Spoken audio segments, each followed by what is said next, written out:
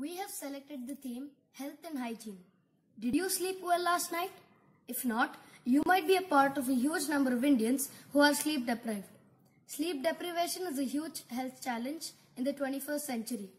It is now possible to stay up longer in the night, excessive lighting in the night, increased pressure on students and professionals to do larger amounts of work, and the ubiquity of smartphones and other electric gadgets. Sleep deprivation can lead to a number of health issues such as drowsiness, heart disease, an increased probability of developing diabetes, and poor cognition.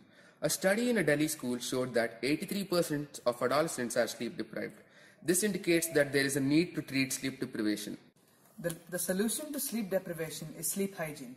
Sleep hygiene includes practices like journaling, following a proper schedule, and habits such as avoiding caffeine, avoiding lights before bedtime, and getting enough physical exercise.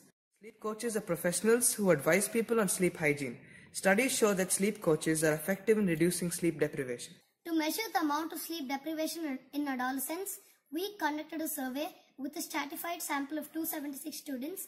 Each strata consisted of 92 students aged from 12 to 18 and was from a separate school.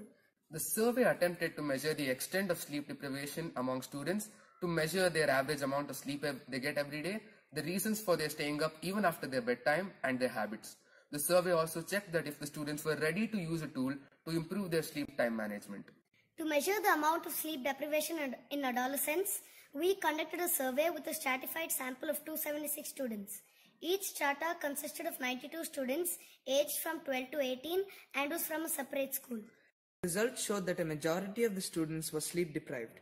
Many students reported that they often stay up after bedtime, not enough physical exercise, and high smartphone or computer use every day. Many reported taking caffeinated beverages and having the dinner only an hour before bedtime. All these are problems that a sleep coach would advise against.